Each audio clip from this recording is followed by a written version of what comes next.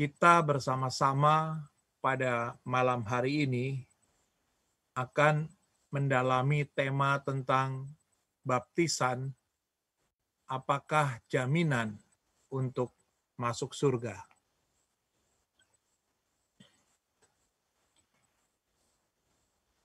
Berbicara tentang baptisan berarti mengingatkan kita akan kelahiran menuju hidup baru di dalam Kristus.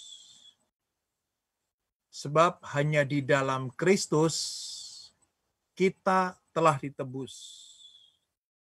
Dan di dalam Kristus Yesus kita telah diselamatkan.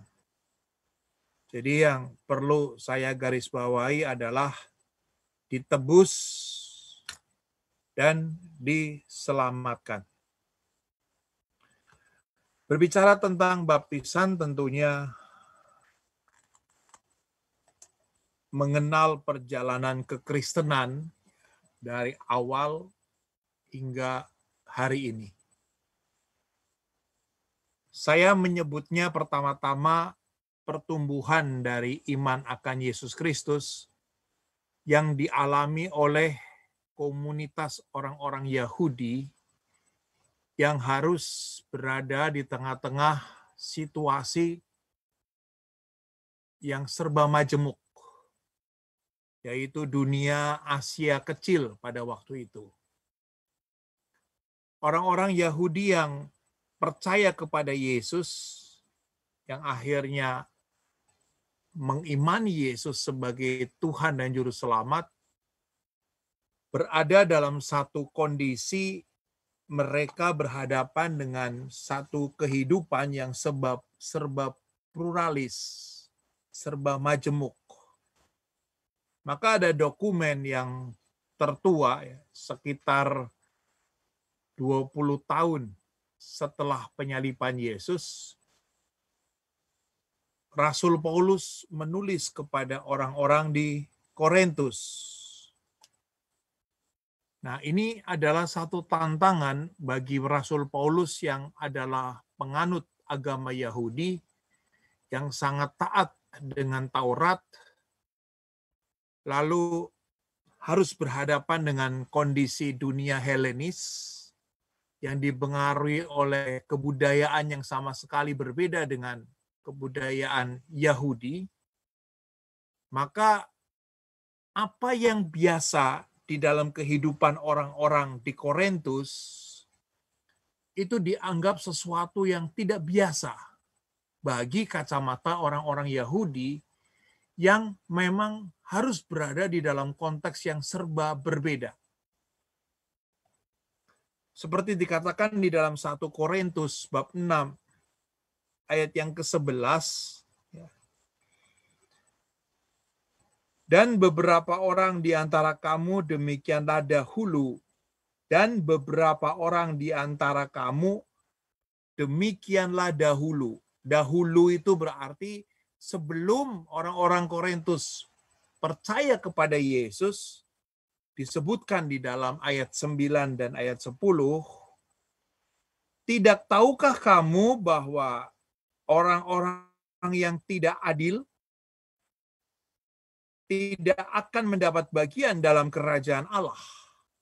Jadi orang-orang Korintus sebelumnya menganggap ketidakadilan itu sesuatu hal yang lazim dalam hidup mereka.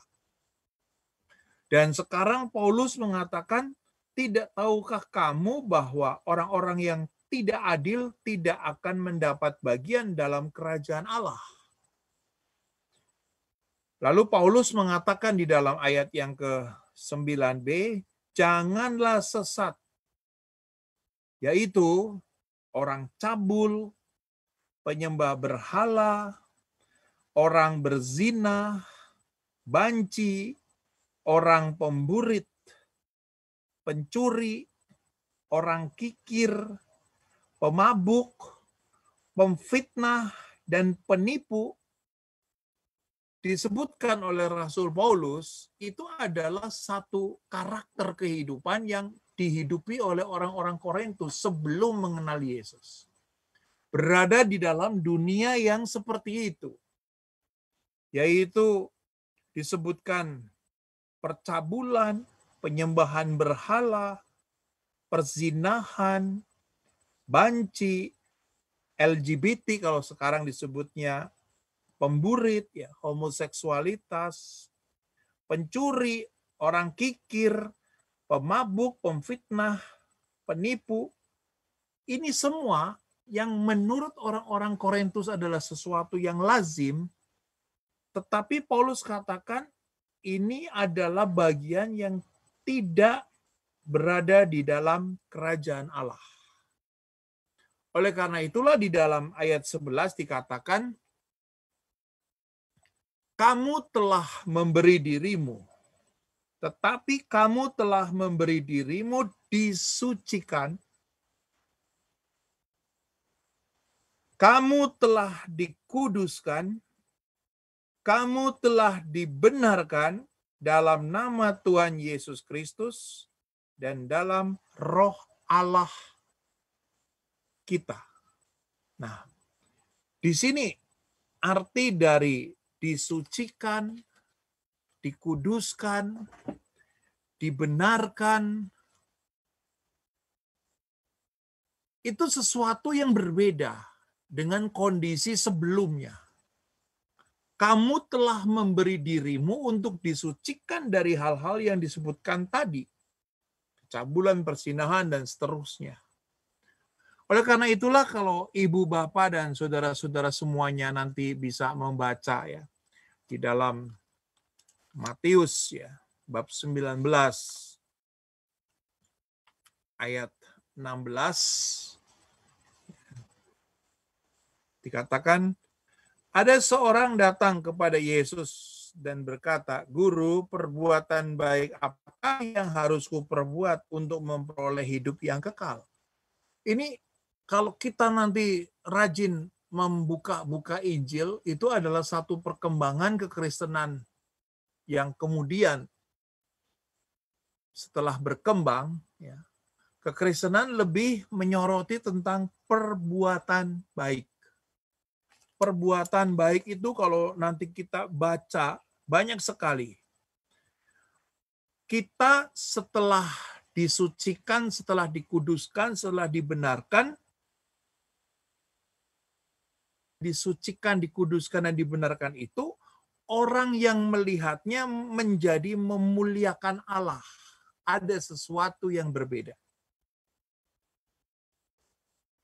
Lalu di dalam Injil juga dikatakan salah satu perbuatan baik dimulai dari bagaimana caranya kita memberi salam. Bukan memberi salam kepada orang-orang yang suka sama kita, tapi juga memberi salam kepada orang-orang yang mungkin tidak suka dengan kita karena kita mau hidup suci, hidup kudus, dan sudah hidup di dalam Kristus secara benar. Sehingga pertanyaan di dalam Injil Matius bab 19 ini mewakili seluruh dialog dan diskusi di dalam Injil dan juga di dalam surat-surat perjanjian baru yang lain yang menunjukkan bahwa perbuatan baik itu selalu menjadi fokus dari diskusi Yesus bersama dengan kelompok-kelompok yang berdiskusi dengan dia. Lalu dikatakan di dalam surat perjanjian baru yang lebih muda lagi dari 2 Timotius bab 3 ayat 17, bunyinya dengan demikian tiap-tiap manusia kepunyaan Allah diperlengkapi untuk setiap perbuatan baik. Jadi memang kita bisa suci, kita bisa kudus, kita bisa benar karena dilengkapi oleh Allah karena kesucian, kekudusan dan kebenaran itu dilakukan di dalam nama Tuhan Yesus Kristus dan di dalam Roh Allah. Disebutkan juga di dalam surat Titus bab 3 ayat yang kelima, pada waktu itu dia telah menyelamatkan kita bukan karena perbuatan baik yang telah kita lakukan, tetapi karena rahmatnya oleh permandian kelahiran kembali dan oleh pembaharuan yang dikerjakan oleh roh kudus. Jadi kita bisa suci, kita bisa kudus, kita bisa benar, tidak lagi hidup di dalam konteks kehidupan dunia yang hidup dengan ketidakadilan, penuh dengan uh, kejahatan, penuh dengan persinahan, percabulan, dan seterusnya, itu karena rahmat Allah. Dan inilah cara berpikir ya dari gereja pada awal-awalnya tentang apa artinya disucikan, dikuduskan, dan dibenarkan. Dan akhirnya di dalam satu pemikiran yang jauh lebih matang, Rasul Paulus juga terus berkembang di dalam satu pemahaman tentang apa artinya menjadi suci, menjadi kudus, dan dibenarkan di dalam surat Roma. Ini merupakan surat yang paling sempurna dari tulisan Rasul Paulus setelah 14 tahun Paulus menjadi pewarta Injil. Lalu Paulus memberikan satu statement di dalam Roma bab 6 ayat 3 sampai dengan 4 dikatakan ya, bahwa atau tidak tahukah kamu bahwa kita semua yang telah dibaptis dalam Kristus telah dibaptis dalam kematiannya? Kita semua yang telah dibaptis dalam Kristus telah dibaptis dalam kematiannya. Jadi pembaptisan dalam pandangan Rasul Paulus itu bukan satu ritual untuk menjadi anggota salah satu organisasi. Tetapi setiap orang yang dibaptis adalah disatukan di dalam kematian Kristus. Dan karena Kristus hanya sekali selama-lamanya dia menyerahkan hidupnya di atas kayu salib, maka dari itu makna dari baptisan hanya diterimakan sekali untuk seumur hidup. Karena baptisan itu bukan menjadi simbol saya mau menjadi anggota atau kelompok tertentu, tetapi baptisan itu adalah menyatu di dalam kematian Kristus supaya apa dikatakan oleh Rasul Paulus supaya kita sama seperti Kristus yang telah dibangkitkan dari antara orang mati oleh kemuliaan Bapa. Jadi memang dengan perkembangan pemahaman gereja yang awalnya kita bisa menjadi kudus, kita bisa menjadi suci karena kita mengakui Yesus dan berbeda dengan situasi dunia yang ada di sekitarnya yang hidup dengan berbagai macam ketidakadilan. Lalu sekarang dalam perkembangannya bahwa kekudusan, pembenaran, dan hidup di dalam Kristus itu karena supaya sama seperti Kristus. Dengan demikian kita telah dikuburkan bersama-sama dengan dia oleh baptisan dalam kematian supaya sama seperti Kristus telah dibangkitkan dari antara orang mati oleh kemuliaan Bapa. Demikian juga kita akan hidup dalam hidup yang baru. Nah, inilah tujuan akhir dari sebuah perjalanan tentang baptisan. Jadi kita akhirnya memahami bahwa baptisan menjadi pintu masuk untuk memperoleh satu kehidupan yang baru, yaitu hidup di dalam kematian Kristus, hidup di dalam kebangkitan Kristus, dan hidup akhirnya di dalam kemuliaan Allah. Ini juga disebutkan di dalam surat Kolose bab 2 ayat 12 bunyinya seperti ini. Karena dengan dia kamu dikuburkan dalam baptisan dan di dalam dia kamu turut dibangkitkan juga oleh kepercayaanmu kepada kerja kuasa Allah yang telah membangkitkan dia dari antara orang mati.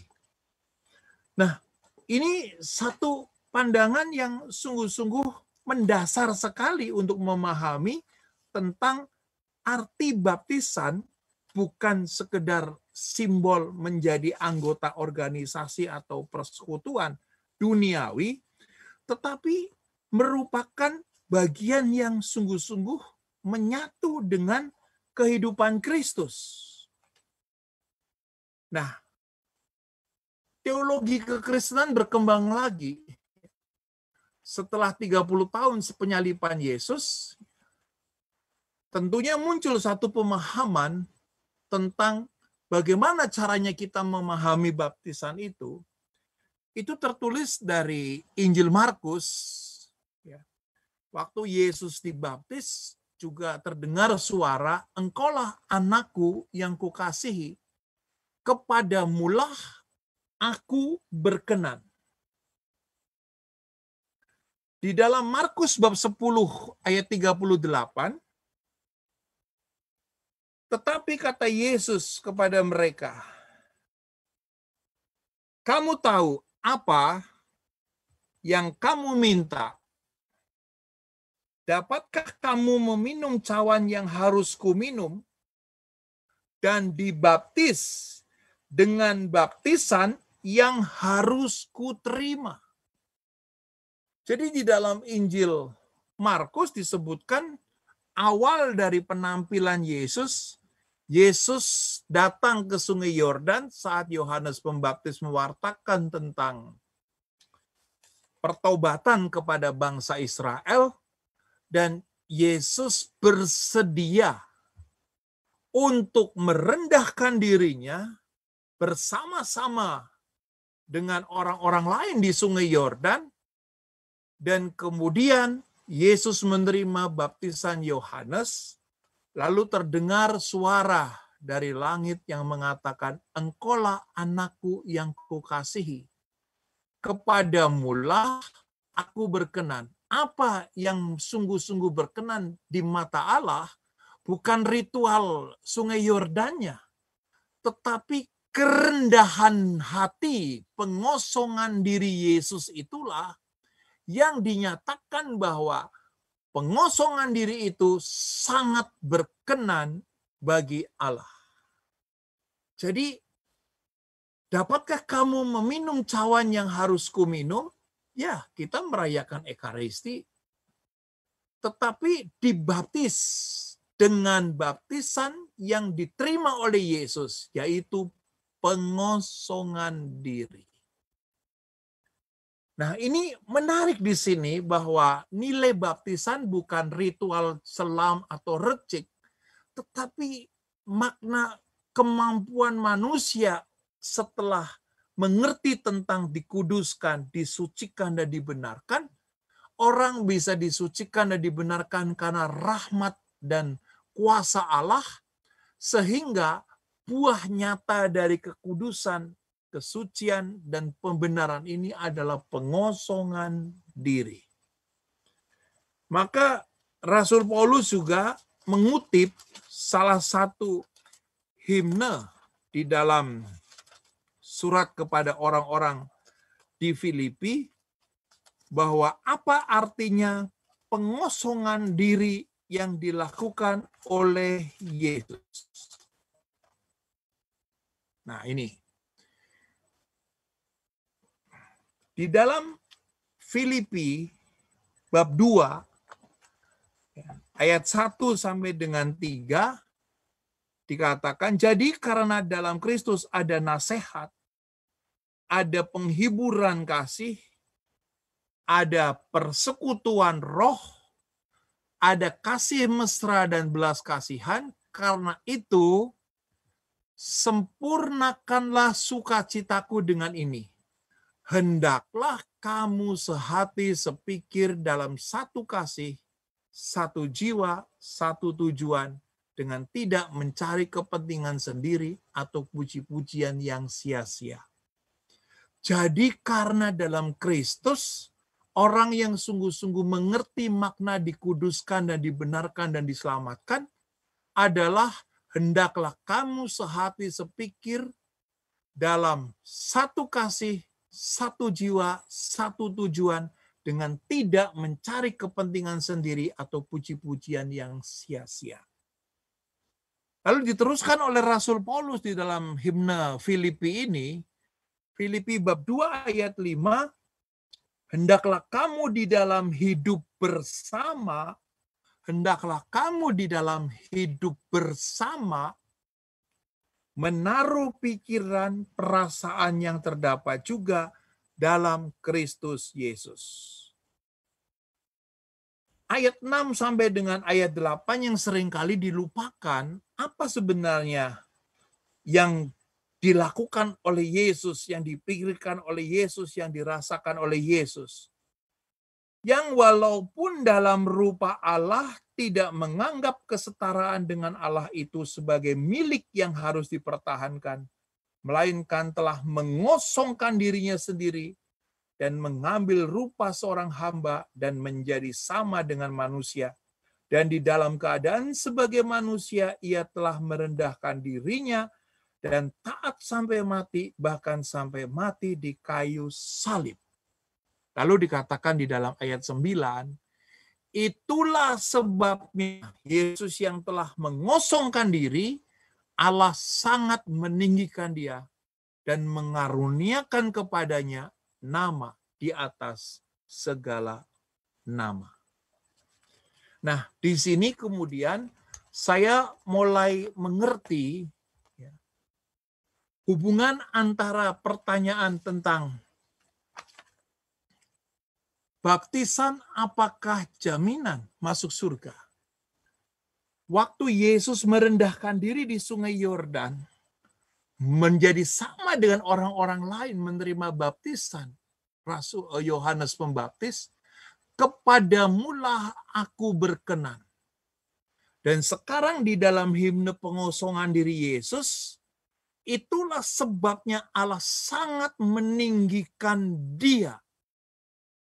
Jadi surga itu ada hubungannya bukan status, tetapi sebuah karakter dan mental dan keputusan pribadi untuk mengosongkan diri sehati sepikir seperti yang terjadi di dalam diri Yesus. Nah, siapa sebenarnya yang mampu berbuat seperti itu? Oleh karena itulah makna dari baptisan disebutkan di dalam ajaran gereja bahwa orang yang dibaptis berarti dibebaskan dari dosa. Dosa di sini berarti orang yang masih meninggikan diri, yang masih mencari puji-pujian yang sia-sia, yang masih mencari kepentingan diri sendiri. Orang-orang yang seperti ini masih belum dibebaskan dari dosa.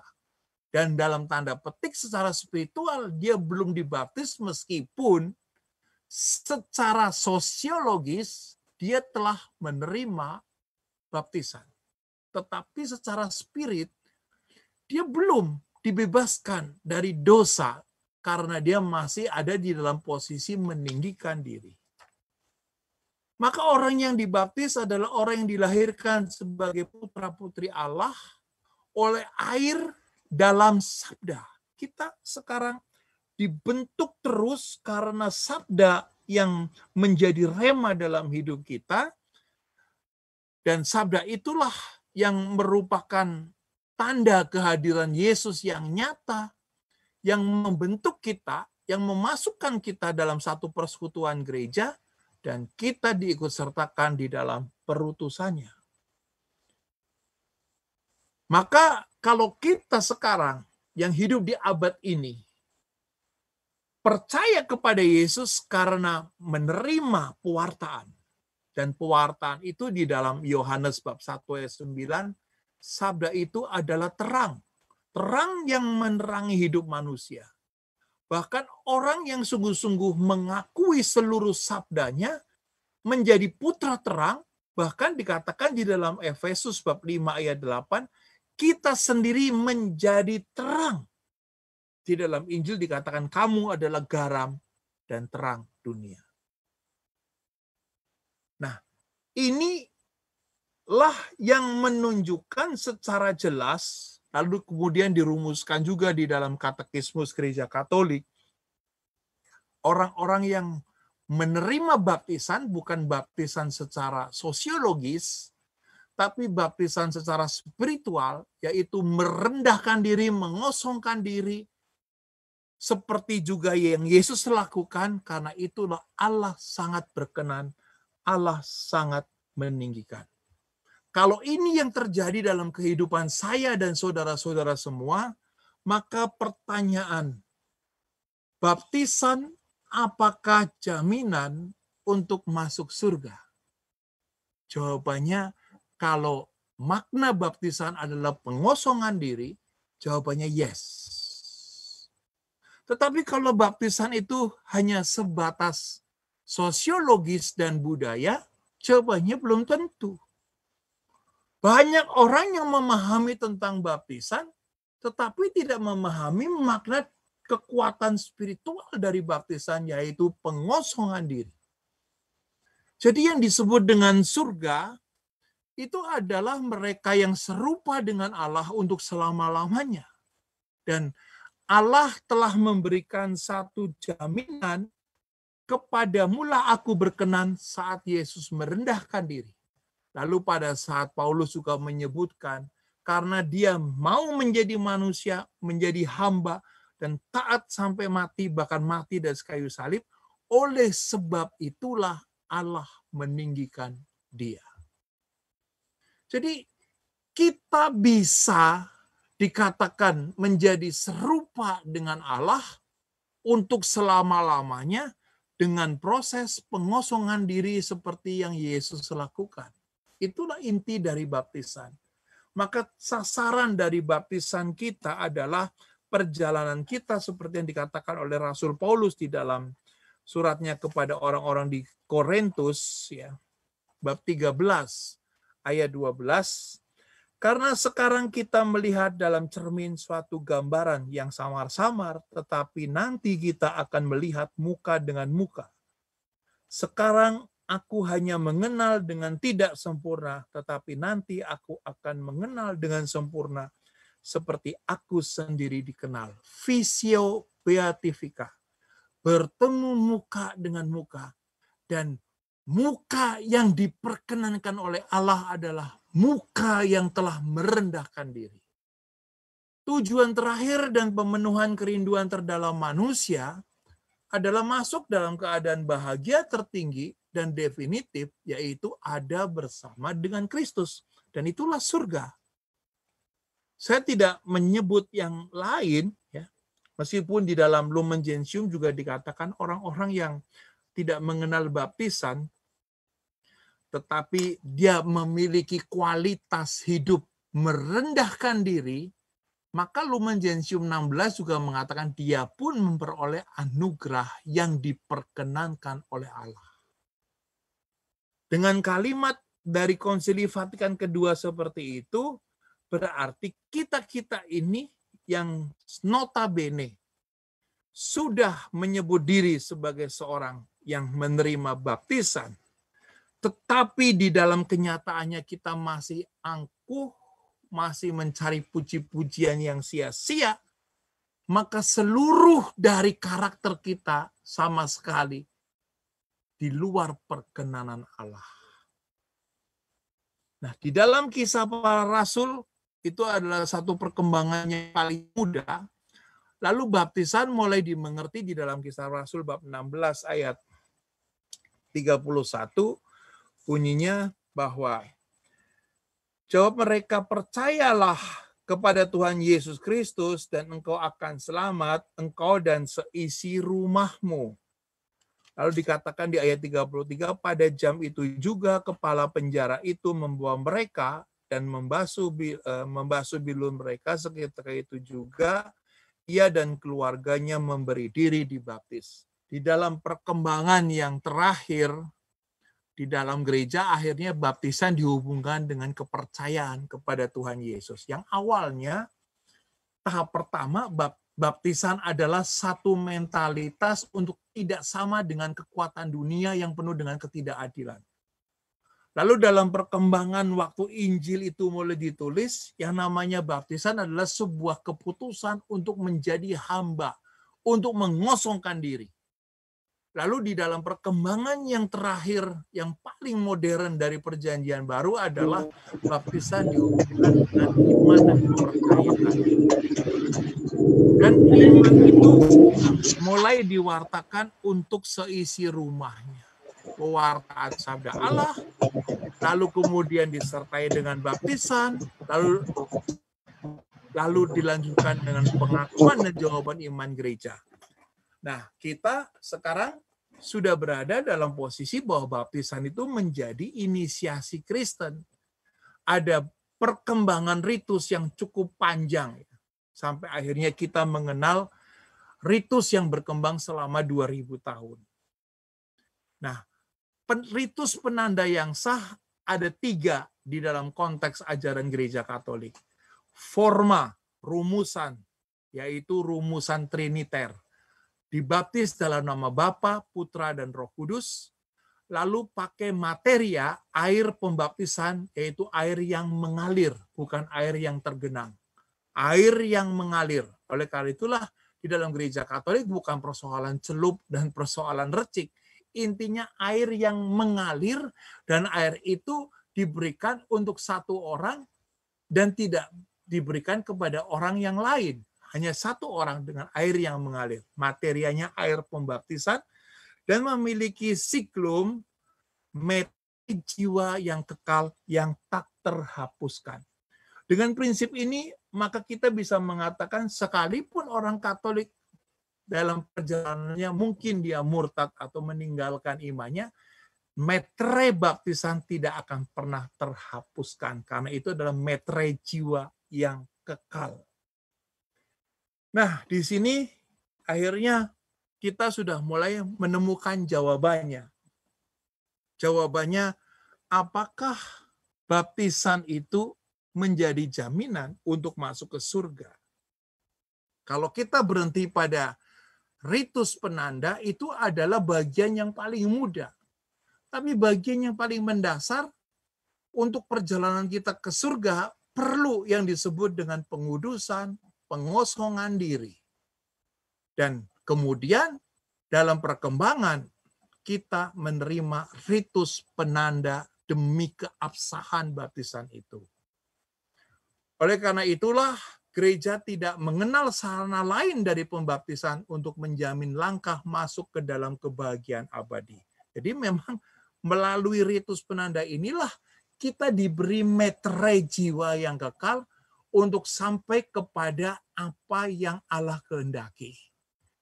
Namun, Kristus telah wafat bagi semua orang, bahwa Roh Kudus membuka kemungkinan bagi semua orang untuk diselamatkan atau bergabung dengan cara yang diketahui oleh Allah dengan misteri Paskah. Kita tidak bisa membatasi, lalu bagaimana orang-orang yang belum mengenal Kristus, apakah mereka akan dibangkitkan? Itu bukan hitungan kita, itu hitungan Allah yang disebutkan di dalam Gaudium Espes, Lumen Gentium 16, dan Adgentes nomor 7. Dengan cara yang diketahui Allah, dunia ini menerima rahmat misteri Paskah.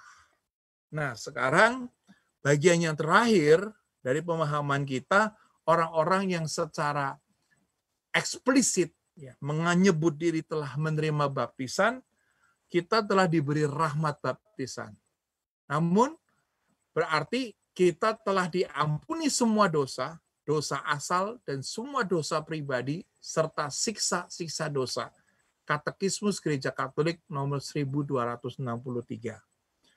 Dikatakan juga meskipun kita telah diampuni dari semua dosa, dosa asal dan semua dosa pribadi dan sisa-sisa dosa, di dalam orang-orang yang dibaptis, kita dan saudara-saudara semuanya, tetap ada beberapa akibat sementara dari dosa, yaitu penderitaan, penyakit, kematian, kelemahan, itu karena tabiat ya kita yang menyebut diri namanya katanya baptisnya Teresia.